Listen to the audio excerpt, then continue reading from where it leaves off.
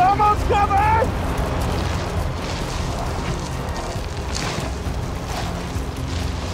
He's gonna suffocate! He has a small air pocket. He can pull it off. Walter! Walter, can you hear me? He can't answer you. He's trying to conserve air. Walter, listen to me. Just like you wanted to tell me something when I was in that plane. In case things went badly. I need to tell you something now. For the same reason. If things go bad, I don't want there to be anything between us, and I know you're keeping something from me. I don't care what it is. I love you. You get out of here, you will get out of here.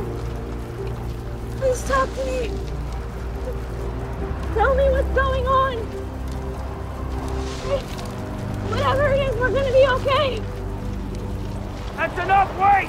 Whoa, out.